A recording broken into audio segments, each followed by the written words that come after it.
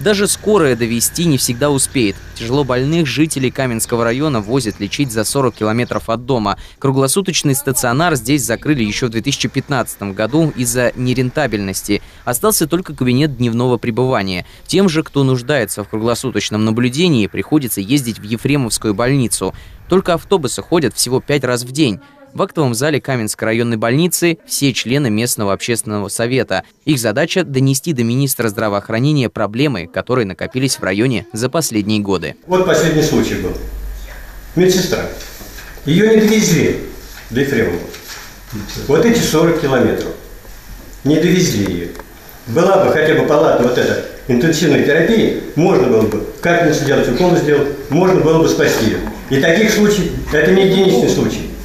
Вот на моем, что я знаю, это 6-7 случаев. Эмоциональные примеры перекрывает сухая статистика. Областные чиновники объясняют, стационар закрыли из-за цифр. В 2014 году подсчитали, за год в райбольницу обратились около 600 человек. Из них только 12% нуждались в круглосуточном стационаре. По итогу терапевтические койки, которые по нормативам должны быть заняты 332 дня в году, около двух месяцев здесь просто пустовали. Поэтому и произошло сокращение. Глава Минздрава после выступления двух сторон пообещал рассмотреть вопрос о восстановлении реабилитации реабилитационного отделения либо палаты интенсивной терапии. До сентября, как минимум, чтобы понимать, по, До сентября, да? появятся ли у нас э, кадры, да, и тогда уже как Хорошо, тогда давайте ключе... общественный совет мы спросим, дает ли, даем ли мы время до сентября месяца?